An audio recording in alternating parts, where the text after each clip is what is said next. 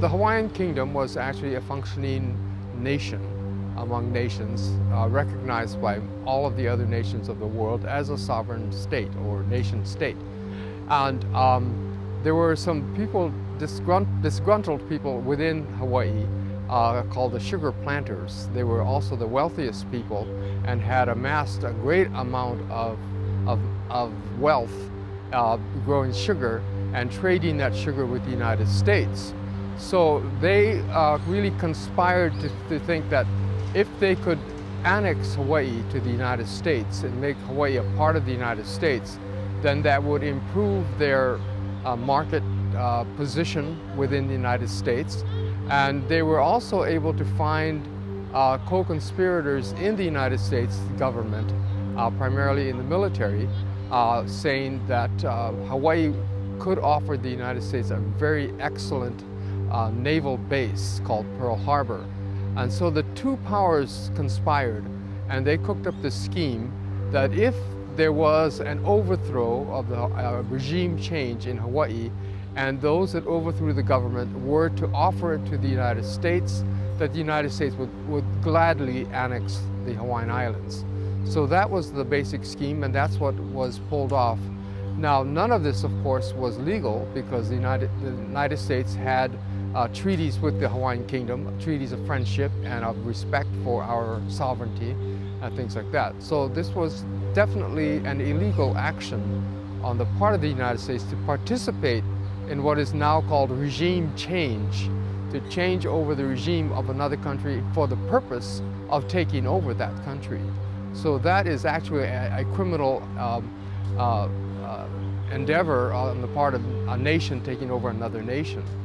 Uh, but nevertheless, they went ahead with the scheme. The scheme was exposed early on and was shown to be uh, patently illegal. Uh, the, the, first president of the United States who looked at the, the situation after the uh, overthrow had taken place uh, admitted that the United States had committed an act of uh, viola violations of international law and possibly an act of war against a friendly nation. And so he recanted that and, and, basically said that the United States cannot pursue annexation of a friendly nation without that nation's consent. Um, and uh, so, so he actually made an agreement with Queen Liliuokalani, who had been deposed, uh, but he made an agreement to restore her as the sovereign of the independent country of Hawaii. Uh, that agreement is actually in limbo right now. It has never been executed, although it was agreed upon. Uh, however, a few years later, when President uh, Cleveland, who made that agreement, was out of office, then the conspirators within the United States who wanted to take over Hawaii pushed again for annexation. By now, there was a provisional government in place and a um, what was called the Republic of Hawaii. There was a regime change in that they did create a new nation or out of scratch, out of nowhere, um, and created this Republic of Hawaii. So the Republic of, of Hawaii entered into an agreement with the United States to annex the Republic of Hawaii to the United States. Um, this was received by quite a, a, few members of Congress. Quite, uh, uh, they were very receptive to it. They, had to, they would have had to approve it.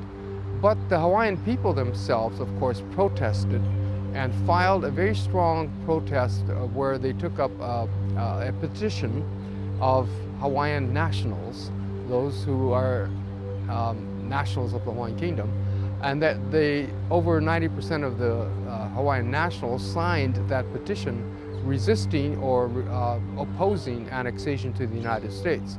So when it finally got to the Congress of the United States, to the Senate, for ratification, it was, it was turned down because the, they did not have the consent of the people of the Hawaiian Kingdom. Um, and so Queen Liliuokalani, who had been in Washington lobbying against it, returned home quite victorious because we had defeated any treaty of annexation. Uh, within a year's or in a few months' time, the United States had all, provoked a war with Spain uh, to try to oust Spanish influence from the Western Hemisphere. And, and so the war began against Spain and it, it went very quickly. Uh, the, most of it was fought, fought in Manila and uh, Puerto Rico um, and um, yeah, Cuba um, in um, Havana. And um, but the Manila part of it, which is in the Philippines, was the part that involved Hawaii. So the United States, in prosecuting their war with Spain in 1898, decided to go ahead and seize Hawaii to be used as a base. So they used a false or a, a the premise of uh, what is called a joint resolution of Congress to uh, quote acquire Hawaii as a as a territory of the United States under the excuse of military necessity, meaning they needed the military base here, so therefore they would simply acquire Hawaii to be that military base. After the Spanish-American War, which was fairly short, um, then Spain then yielded and um, uh, signed over several of its territories to the United States. Hawaii not being one of them because Hawaii was an independent country. But the United States simply proceeded as if Hawaii were a part of the spoils of war and basically treated Hawaii as a territory acquired during the Spanish-American War uh, through their joint resolution. So none of this is lawful. Um, and the people of Hawaii protested that quite strongly, but uh, those protests were overlooked and um, the nations that we had treaties with failed to come to our aid to uh, stick up for the fact that Hawaii is still a sovereign nation. And so the United States simply subsumed the Hawaiian Kingdom as, as the Republic of Hawaii and then into the United States as a territory of Hawaii.